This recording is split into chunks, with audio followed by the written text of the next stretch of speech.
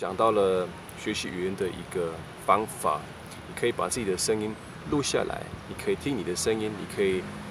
分析跟研究你的口音、你的发音有没有正确，有没有比较标准。那我想要在这个小小的影片做一个小小的介绍，给你很具体的一个呃示范。我的部分，我的话我会怎么做？像比如说，我现在我在学习西班牙文，然后我最近我就其实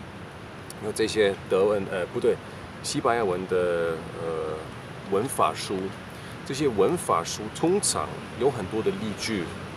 所以我觉得这个也是一个还蛮不错的一个一个资源。如果你去学习德文的话，你可以用来一些课本或者一些文法书、一些工具书。通常，嗯，我们通常可能会联想到比较枯燥的一个学习的的那种呃气氛，或者是学习的方式。那你可以把这个，你甚至于这种东西，可以把它转化成一个很有趣的、很生活化的，而且非常有用的一个练习。就是说，你这些内容、这些句子，你都要念出来。所以，譬如说，如果是一个文法书的话，我这边有非常嗯，就是系统性的列举出来。比如说，有哪些呃文佛的结构，有哪些句型啊，有哪些呃可以如何表达这些呃内容的方式。那这个就非常适合念成就是这样念出来，然后把它就是呃对，就是。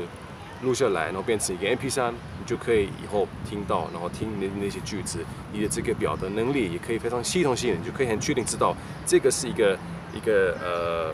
整理的非常整齐的内容。那我可以把这些句子这些表达方式就呃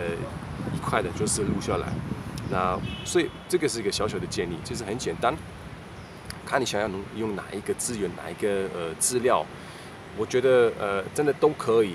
啊，而且呢，而且呢，最后呢，这是一个比较短短短的影片。最后，我也我也很想嗯多一点分享，而且很具体的示范。像比如说今天啊，OK，这个书我要把这些句子这样子录下来，然后就变成一个 MP3。呃，我想要